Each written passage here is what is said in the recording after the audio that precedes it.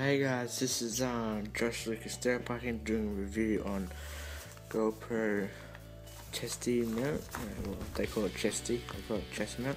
You can read down there, chest mount harness. It's pretty cool. You get a um mm, thing that you do, uh, and then you push on your body. Not to do it myself. Long. see you got a bicycle right there. It's basically like a mini bag. It's really hard to one hand. Yeah. So that's what it looks like to me. Right here. And turn it. It looks like.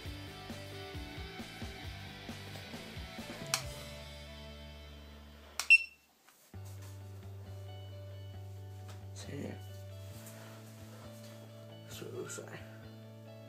So yeah, that's the review of the chest mount. It's pretty sick. I haven't done any filming, but yeah, today it's nice and shiny, so I might do some filming. Yeah, so that's the bag, that's the mount to go put on there. So yeah, this is Josh from Josh Lucas Dirt Biking, and goodbye. Yeah.